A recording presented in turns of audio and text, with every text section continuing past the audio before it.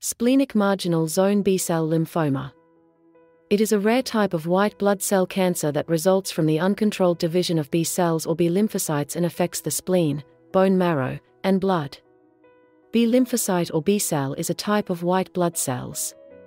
Neutrophils, basophils, eosinophils, T cells, and B cells are types of white blood cells.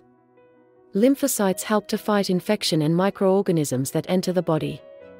There is no well known cause, however, certain genetic mutations and risk factors, such as exposure to certain radiation, previous radiation therapy, and previous chemotherapy for cancer treatment, are thought to be responsible for the development of splenic marginal zone B cell lymphoma. The patient may suffer from some signs and symptoms.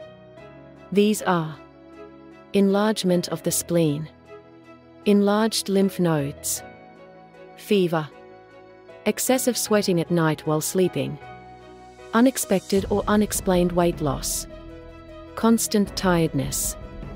If you would like to know more about this cancer, please visit our website withoutaribbon.org.